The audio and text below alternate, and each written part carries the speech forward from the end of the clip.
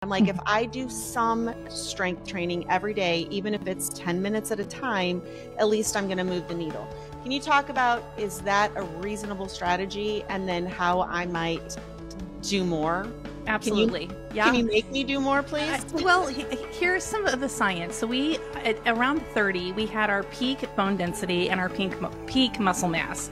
And that's a little sad. Like I didn't start strength training until I was 41. So at, at in the 30s, that's when it was at its peak.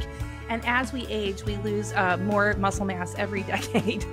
and so hmm. at, during this menopause, this is like this beautiful time period where our body is literally, literally rewiring.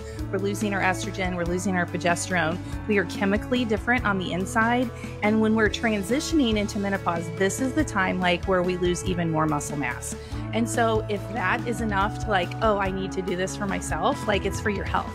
Yeah. Um, you know, strength training, their health benefits would include more muscle mass, so strength and confidence and all those things that are amazing, but also bone density. That's also a benefit from strength training. But here's another one that you might not realize it's uh, actually blood sugar control.